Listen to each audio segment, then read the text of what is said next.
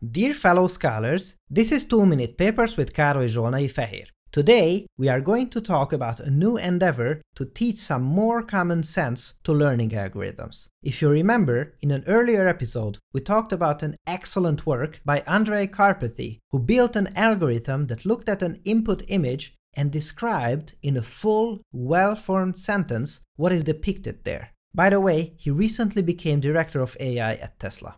Before that, he worked at OpenAI freshly after graduating with a PhD. Now that is a scholarly career if I've ever seen one. Reading about this earlier work was one of those moments when I really had to hold on to my papers not to fall out of the chair, but of course, as it should be with every new breakthrough, the failure cases were thoroughly discussed. One of the motivations for this new work is that we could improve the results by creating a video database that contains a ton of commonly occurring events that would be useful to learn. These events include moving and picking up or holding, poking, throwing, pouring, or plugging in different things, and much more. The goal is that these neural algorithms would get tons of training data for these and would be able to distinguish whether a human is showing them something or just moving things about. The already existing video databases are surprisingly sparse in this sort of information, and in this new, freshly published dataset, we can learn on a hundred thousand labeled videos to accelerate research in this direction.